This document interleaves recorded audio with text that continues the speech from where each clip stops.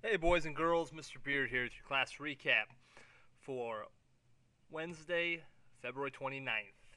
It's a leap year day, um, which doesn't come around a whole lot, so let's make it a good one. Our objectives today were to identify and construct parenthetical citations and to use technology to organize our research.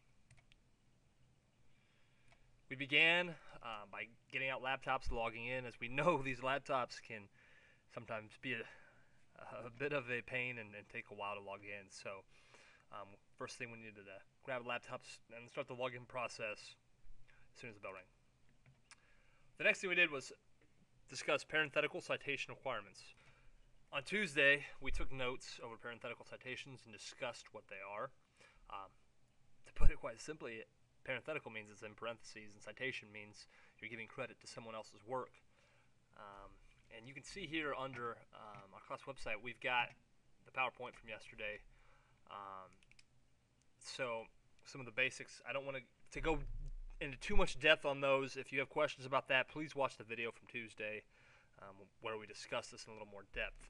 But what students needed to do was we're doing a module where you know we have this parenthetical citation PowerPoint up for students, and then underneath that, there are some questions where they had to go through, identify strong parenthetical citation examples, weak examples, and um, some basic questions over some basic formatting issues and, and, how to do that. So today was on this short um, Wednesday. Remember that periods are much shorter on Wednesdays, so uh, we didn't have quite as much time, so the bulk of the time was spent on this module answering questions on parenthetical citations. If you weren't here and you have questions, uh, this is up on the website, and you may peruse at your own leisure. Um, and if you still have questions beyond that, of course, contact me, and I'd be happy to address them.